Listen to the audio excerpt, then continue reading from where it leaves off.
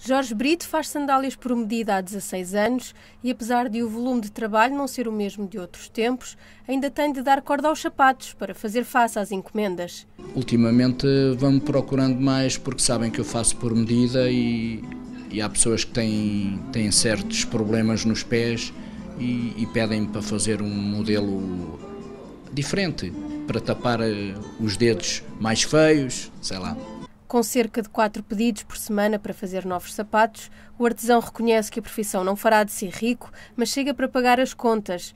Demora cerca de um dia e meio para ter o sapato pronto a entregar ao cliente, nunca recebeu nenhum pedido estranho e as pessoas não fazem grandes exigências. Não há assim muitas exigências. Escolhem um modelo e depois depende do, do que querem, não é? Fazer sapatos novos, eh, pronto, depende dos pedidos, mas eu consigo satisfazer os pedidos todos. Os materiais são todos nacionais e o preço da sandália mais barata é de 50 euros. Quanto ao processo, é simples. O cliente vem, se eu não tiver a medida certa, eu tiro-lhe as medidas ao pé, ele escolhe o modelo e, e depois é só mãos à obra e praticamente está feito. Primeiro começa-se pelas medidas e depois é pela palmilha e, e depois é as peles. Cozer, botões rápidos, cola e depois leva a sola.